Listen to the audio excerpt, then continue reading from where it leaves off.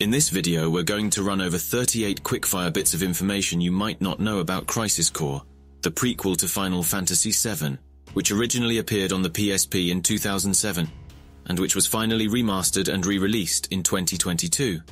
Or maybe you did actually know these things about the game already. Either way, let's go over these nuggets of information anyway. Because why not? The details mentioned in this video are pulled from various different sources, which I'll go through one by one. Starting with information from the Crisis Core Ultimania that was published in 2007. Firstly, Zack was actually supposed to be able to use Blade Beam, one of Cloud's limit breaks in Final Fantasy VII. Zack's version would have been able to lock onto and track multiple targets. However, even though he didn't get to use it in Crisis Core, Zack did get to show off Blade Beam in the Last Order anime. On the topic of combat, in the early stages of the game's development, it was planned that Zack would be able to use martial arts in battle. The developers even went as far as creating animations for the attacks, but they had to be dropped from the game because of memory constraints. Speaking of memory constraints, as the scale of the project grew, the game became too long to fit onto just one UMD. As such, a proposal for two was made, but rejected, meaning that the final scenario for Crisis Core had to essentially be a digest version. Tetsuya Nomura wanted Sephiroth, Genesis, and Angeal to have different varieties of wings to convey different things. Angeal's wings are white to symbolize that he didn't go down a dark path, and Sephiroth could have been the same, but obviously took a different path. Kazushige Nojima was the person who decided that Zack should fall into the church, in the same way that Cloud did in Final Fantasy VII. He also wanted to link some of Aerith's traits, depicted in Final Fantasy VII, to those shown by Zack in Crisis Core, notably such as using his famous one date line. On that topic, Nojima said that it wasn't his intention to show if Zack's affections wavered between Cissnei and Aerith. Instead, Cissnei was there to help encourage Zack when he was down, even though she may have been lonely and troubled herself. Takuji Sasaki, Crisis Core's character texture director, pointed out that when you look closely at one of Aerith's flower wagons, you'll see a small doodle on it, which he imagines was done either by her or Zack. Originally, Minerva was going to be the final summon that you could get in Crisis Core, and would have only been shown in the game's FMVs. However, as with certain other plans, this was dropped because of the UMD's memory constraints, which is why she was added as the super boss instead. Nojima said he chose to make Lazard Soldier's director, rather than Heidegger, because he couldn't imagine Sephiroth obeying orders from him. And to be honest, neither can I. It was planned that the words Zack uses in battle would change after he become a first-class soldier. As such, two tracks were recorded, one for first class and one for second class. However, only one of them could be used. Again, thanks to limitations of the UMD, meaning that the second class battle dialogue had to be dropped. On the subject of changes that happened during Crisis Core, Nomura chose to alter Zack's hair in order to show his character development. However, there were issues when it came to communicating this with production staff, meaning that there was some concern about whether or not his hair would be changed by the time it released. Similarly, another change that takes place regards the music that plays in the Shinra building itself, which changes to the more familiar Shinra theme later on in Crisis Core. This is done to reflect not only the way that the company is viewed by people on the outside, but also that Zack's heart has abandoned Shinra, following Angeal's death.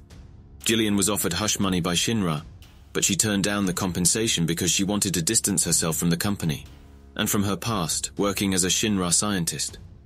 This was despite her family being poor and her husband being ill. Speaking of Jillian, she claims that Genesis is unable to harm her. This is because he considers her knowledge valuable for helping to stop his degradation given that she was involved in his birth while working as a Shinra scientist. Genesis asks her to help him with a cure, but instead, she decides to take her own life. Regarding Genesis, his screen time in Crisis Core actually increased a lot from what was initially planned for his involvement in the project. This is because Hideki Imaizumi, the game's producer, wanted him to be added into many more scenes and convinced Nojima to move parts of Genesis's story into the latter part of Crisis Core. There were also plans for Genesis to play the piano in the game, before the character was instead turned into someone who quotes poetry. Other plans, which were also rejected for being overly dramatic, included having him play a reed flute whenever he appeared on screen. During the emotional ending of Crisis Core, Cloud coming out of his coma and rising to his feet is an indication of Sephiroth's imminent return. This is because, in the same way that Genesis copies stopped moving during Genesis's absence, as a Sephiroth copy following Hojo's experimentation, Cloud also remains in a coma while Sephiroth is absent. The rain that's falling during the game's final moments stops by the time Cloud thanks Zack. This was not just a way of showing the passage of time, but also symbolic of how Zack's memories have now been imprinted on Cloud. As such, with Cloud wanting to hide parts of his true self away, the Jenova cells within him formed a personality based on Zack, due to their ability to copy others. After meeting Cloud, Aerith comes to be surprised by the way he has the same bearing and mannerisms as Zack. Now, let's move on to interesting details that can be found in the Crisis Core Complete Guide, which was published in 2008. It stated that Sephiroth has been engaged in battles on the front line since before he was even 10 years of age, Thanks to his combat ability, which is greater than that of any other soldier first class, it's clear that he's the world's strongest warrior. Also, Sephiroth's fan club in Crisis Core has been around for more than 20 years. The club's chairperson apparently has the initial H, writes like a scientist would, and has access to the Shinra building, allowing them to get access to private information about Sephiroth. Now, who could that be? Also on the subject of Sephiroth, he came to regard Genesis and Angeal as the first friends in his life, despite not having much time for other people. During the events of Crisis Core, he also began to see Zack as a new friend. A young man called Emilio, who can be spoken to in the Sector 5 slums, will mention that he has a girl back home that he writes to. It turns out that he's the son of the general store owner in Nibelheim, and the girl he's referring to is Tifa. However, she isn't actually his girlfriend. The white feather that appears in front of the church is a sign that Aerith spoke with Angeal during the events of Crisis Core.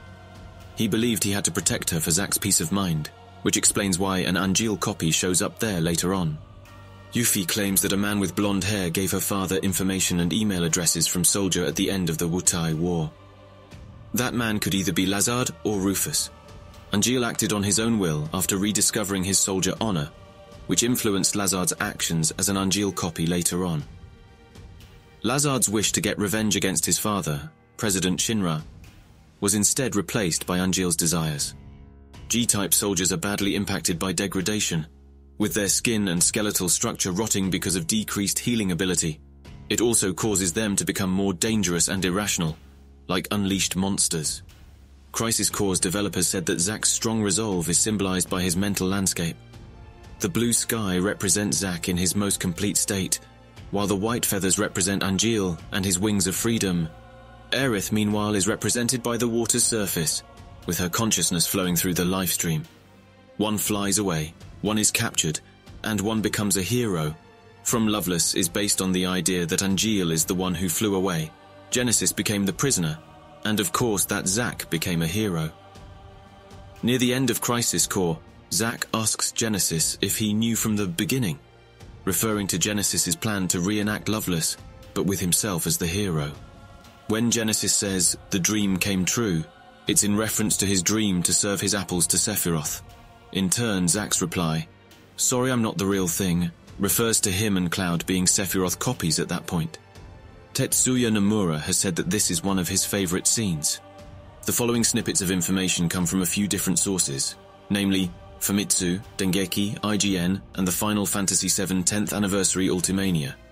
In issue 396 of Dengeki PlayStation magazine, Yoshinori Kitase said that Fair was actually one of three potential possibilities for Zack's last name. Kitase wanted to call him Zack Sunflower, but the team instead chose a name more related to weather.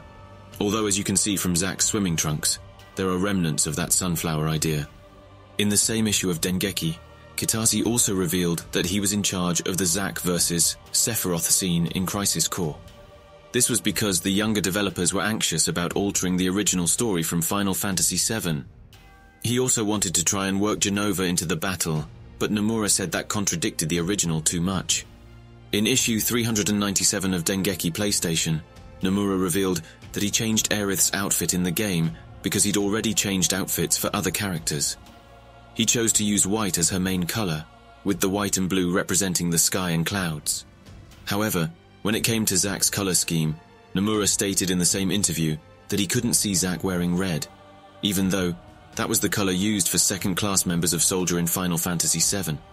Instead, he decided to retroactively change this aspect to make Zack's outfit more suitable.